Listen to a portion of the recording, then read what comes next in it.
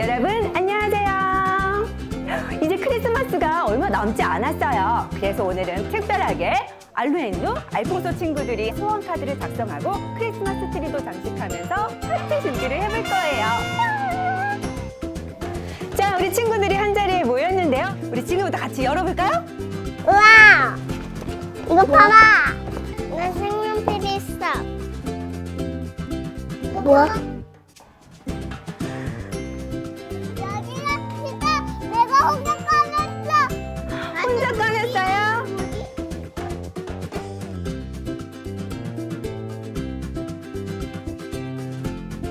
우리 다양한 도구들을 이용해서 지금부터 소원 카드를 만들어 볼 거예요.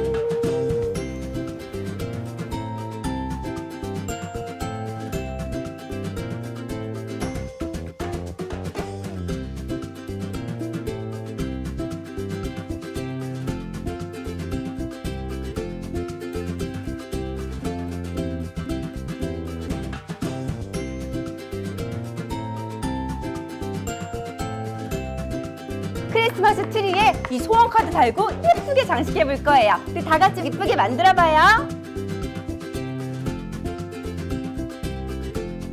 크리스마스 좋아?